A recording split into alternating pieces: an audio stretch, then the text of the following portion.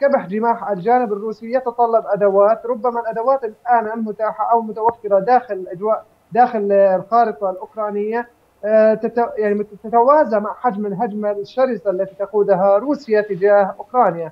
بالمقابل هنالك خبر أيضا مهم جدا يعني هنالك بعض الأخبار الاستراتيجية الهامة وهنا أتحدث عن إغراق آه، إحدى القطع البحرية وهي التي المتميزة جدا بالنسبة للروس عندما تم استهدافها بصاروخ نبتون هذه دلالة استراتيجية كبيرة ربما سنشهد تداعيات كبيرة في الآونة الأخيرة. وهنا أتحدث بوجه الخصوص عن القطعه البحرية. هذه القطعه البحرية الأهم وهي حامله الطائرات التي تم إغراقها بشكل واضح وبأن هنالك تداعيات للإغراق. يعني هذا يعني لربما قد تساهم بشكل أو بآخر في توجيه رسالة إلى الجانب الروسي بأنه لا يمكن آه، مرور هذه السفن أو القطع البحرية.